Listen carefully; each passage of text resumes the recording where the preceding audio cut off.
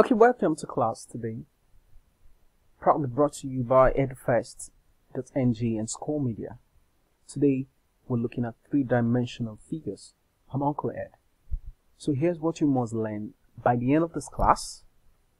Firstly, number one, you must identify the properties of cubes and cuboids.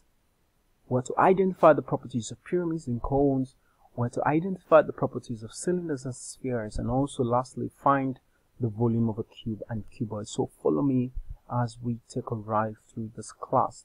First on a list of objects we have for today is a cube. So here's what a cube looks like. It has a vertex and an edge. We have several of them in their homes like the Maggi cube and the sugar cube. These are examples of cube. The properties of cubes can be listed as follows. First, it has a shape where it is a shape where all six faces are squares. It has eight vertices and 12 edges, so take note of that. When you see a cube, this is what you should see. Also, next we have the shape we call cuboid. A cuboid is similar to a cube, just that all the faces of a cuboid are rectangular in shape. So the properties of a cube is number one, it has six faces and each face is the shape of a rectangle. Like I said earlier, it also has 12 straight edges and 8 vertices also. What is a vertex and what is an edge? Please take note of that. A vertex is a point or corner where three or more edges meet, while an edge is a line where two faces meet. That's very important for you to note. So next on a list of solid figures we have for today is a cylinder okay a cylinder can exist in the form of your tin um, milk tin or um, your batteries and some other objects we could have in the home. So here's what a cylinder looks like. It has a curved surface and a circular surface. The properties of a cylinder are one it has two plain circular faces and one curved surface. It has two curved edges and no vertex. Yes these are the properties of cylinder. Next on of solid figures is a cone. So below we have the figure of a cone with one vertex and a circular base. How do we identify a cone? In case you see one, a cone has a circular base, it has a curved surface, that is one curved surface, it has one vertex and one curved edge.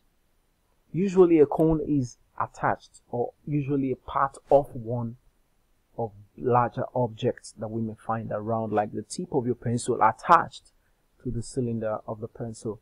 So these are, that's one of so many other examples of what a cone is or how it exists. Next on the list is what we'll call pyramid. Yes, like the Egyptian pyramids. So we have rectangular based pyramid, also referred to as a tetrahedron, and also a hexagonal based pyramid. So in this case, pyramids exist in various forms. We could have a square based pyramid or some other pyramid which has a polygon of any number of sides as the base. So in this case, a pyramid apart from its base, all the faces are triangular in shape. Yes, only the base may be different in shape, but the other faces are triangular in shape. The base could take the shape of a square, a rectangle, or any polygon. A hexagonal based pyramid has 7 vertices, 7 faces, and 12 edges, so it's quite important you note that. The prism also is one of our solid figures we're considering today, and here's a triangular based prism and a hexagonal based prism. What are the properties of these two kind of prisms? Number one, the base and top faces of a prism are always the same. The side faces are rectangular in shape. The cuboid can be seen as a rectangular prism. A triangular prism has six vertices, five faces, and nine edges. We could also have a square based prism. In this case, it's going to be a cuboid. Yes a cylinder can be regarded as a special kind of prism. So you can also count the faces, the vertices, and the edges of each of this shape. Make sure you note them down on your book. And lastly, for today, we're taking a look at the volume of a cube and a cuboid. So the volume of a solid is a measure of the space it takes up. Hence, the basic unit of a volume of volume is 1 cubic meters.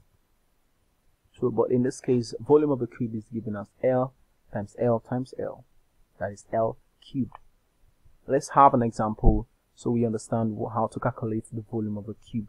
He says calculate the volume of a cube with side 5 cm. Here's the solution. We already know that volume is given as L cubed, so we simply multiply 5 times 5 times 5 to give us 125 cm cubed. Yes, that's the volume of a cube.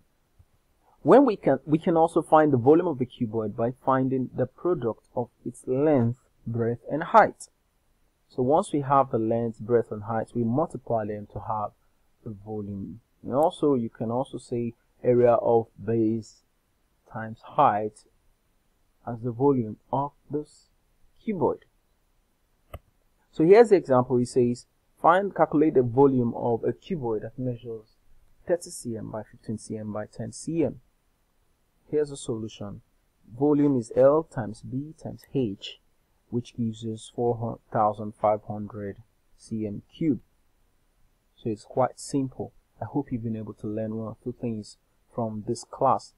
Today's home exercise is quite simple, so make sure you send in your answers. Take note of every question, send in the answers to the email below because we can't wait to hear from you. Hope to see you in the next class. Thank you very much and do have a wonderful day.